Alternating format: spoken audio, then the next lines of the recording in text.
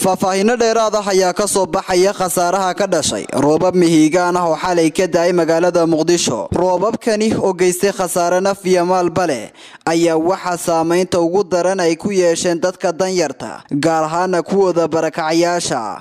Wararka ayaa sheegaya in ugu yaraan afar carruur ah iyo hooyadood ay ku geeriyoodeen roobabkii xalay kuwaasi oo ku sugnaa degmada wadajir kadib markii uu ku soo dumay dhismo ay deganaayeen.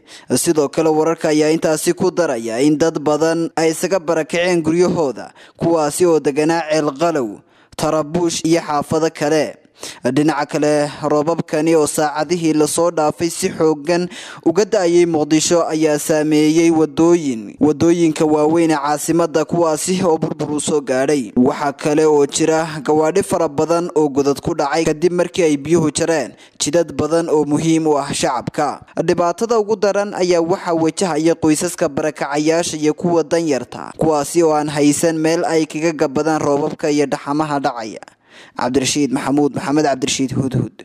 Wararka telefishinka caalamiga star t v